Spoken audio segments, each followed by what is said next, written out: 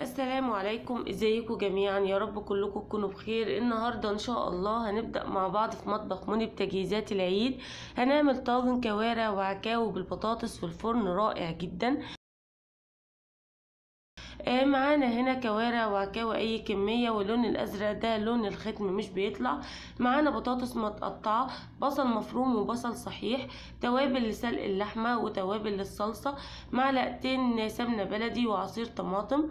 دلوقتي هنبدأ نشوح الكوارع والعكاوي في سمنة بلدي علشان إن هي تاخد اللون اللي هو المصفري الجميل ده وكمان تاخد طعم السمنة البلدي. آه زي ما حضراتكم شايفين كده هي خلاص آه أخدت اللون اللي إحنا عايزينه وكمان أخدت طعم السمنة. آه هنشيلهم على جنب ونبدأ في نفس الطاسة. نضيف البصلاية الكبيرة متقطعة ونبدأ إن إحنا نشوحها نحط شوية ملح لغاية لما البصلة تدبل معانا.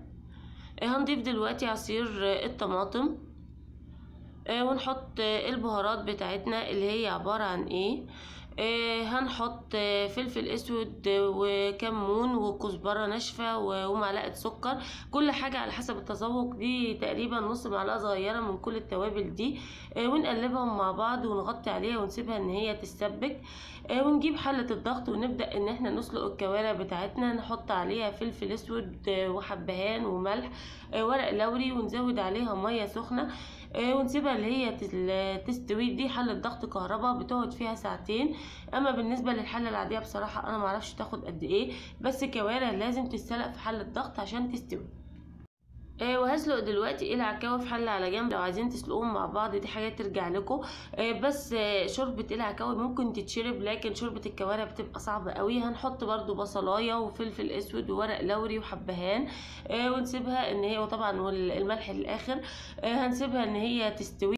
كده الكوارع والعكاوي استووا معانا الكوارع في حلة الضغط أخدت ساعتين. طبعا البوتاجاز تاخد أكتر من كده لكن العكاوي أخدت على البوتاجاز حوالي ساعة. آه دلوقتي هنجيب طاجن ونبدأ نرص فيه بطاطس آه متقطعة بنفس الطريقة دي ونرص عليها الكوارع والعكاوي. وطبعا خلاص الصلصة جهزت معانا. هنبدأ دلوقتي إن إحنا نضيفها للطاجن. ونهز الطاجن بالمنظر ده عشان الصلصة توصل لكل أجزاء الطاجن.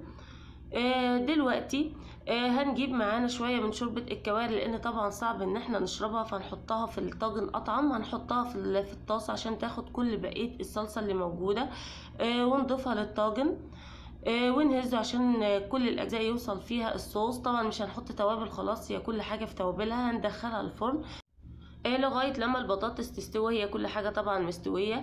آه وده شكل الطاجن بتاعنا بعد ما طلع من الفرن؟ جميل جدا ولذيذ لذيذ لذيذ يا جماعة. أتمنى إن أنتوا تجربوه ويعجبكم إن شاء الله. آه وإذا عجبتكم الوصفة يا ريت إن أنتوا تشتركوا على القناة وما تنسوش تفعلوا زر الجرس عشان يوصل لكم كل جديد من فيديوهاتي. اوعوا تنسوني في ال like like like و share وتعليقاتكم الحلوة. وبالف هنا وشفا وعيدكم سعيد إن شاء الله.